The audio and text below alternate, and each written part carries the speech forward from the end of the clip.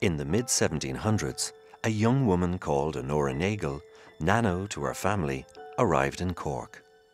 She was educated in Europe. As an adult, she'd intended to return to France and enter a convent. Instead, her spiritual director convinced her that her vocation lay in educating the poor of Cork.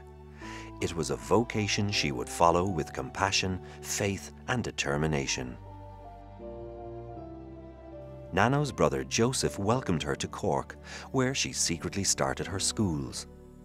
After finding out about her work, he was furious at the risk she was taking.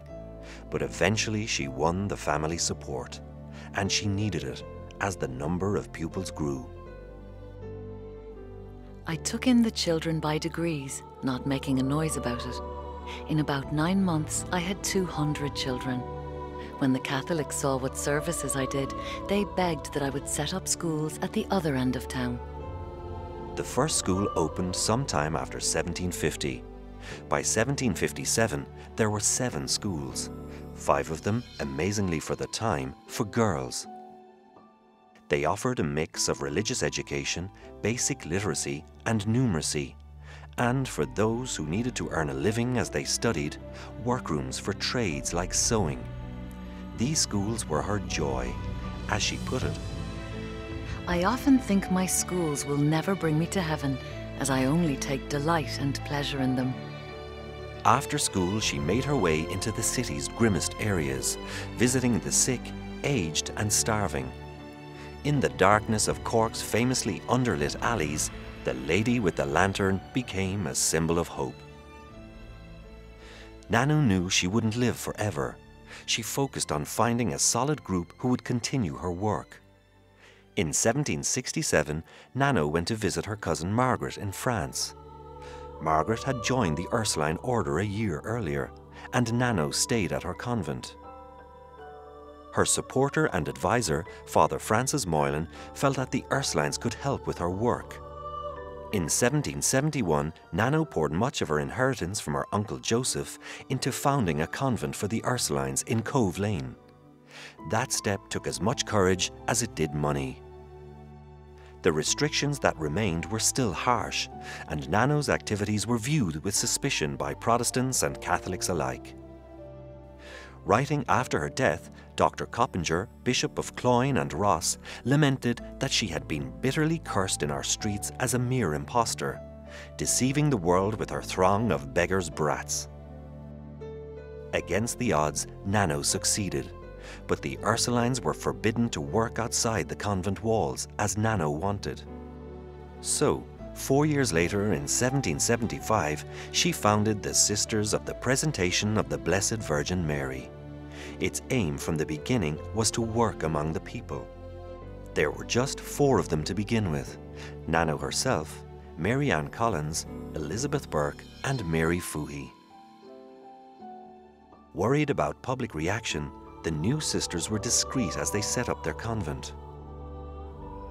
I waited till the time seemed quite peaceful, yet notwithstanding we stole like thieves. I got up before three in the morning and had all our beds taken down and sent to the house before anyone was up in the street. Keeping a Catholic school would be illegal until 1782, but the authorities seem to have turned a blind eye to Nano. Not content with running the schools and visiting the sick, in 1783, Nano began building an almshouse for elderly women. Her determination to help others seemed unstoppable.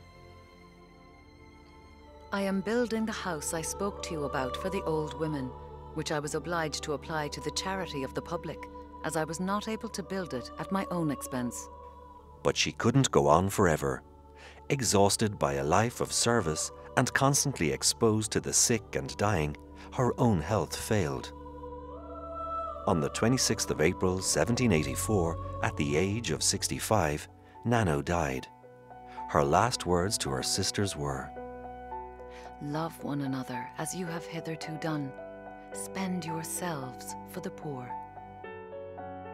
Nano's vision had prepared the way for the Order's work in the wider world.